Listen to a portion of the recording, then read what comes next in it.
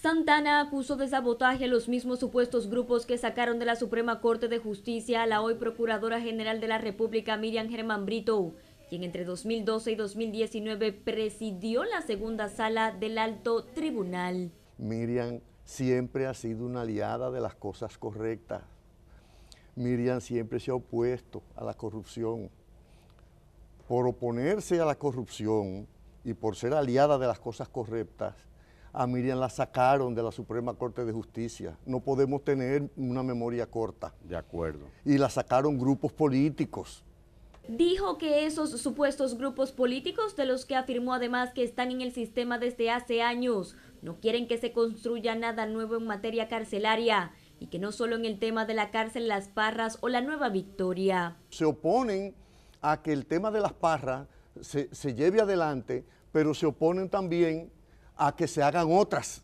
O sea, no lo dicen, no lo verbalizan, sino que lo ralentizan, ponen obstáculos. Miriam no llegó con un grupo. De acuerdo, Miriam no tiene una agenda política. No. Miriam lo que es un servidor de este país. Sostuvo que Miriam Germán es inatacable por su moral y que se refiere a grupos que están dentro del sistema judicial. Yo los conozco a todos. Entonces ellos han querido refugiarse y, y decir, magistrada, la están atacando a usted. No, es a ustedes.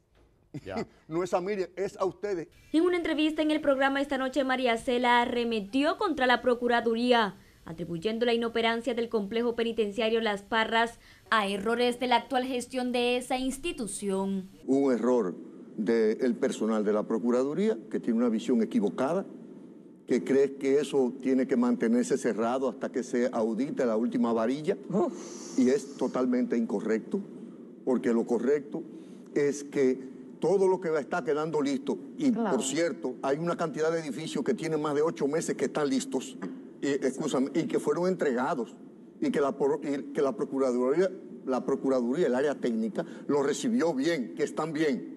Sin embargo, está cerrado. Respecto al penal, el asesor honorífico del Poder Ejecutivo concluyó que la paralización del recinto penitenciario no se debe a problemas técnicos de ingeniería, sino políticos. Para Telenoticias, Paola Mateo.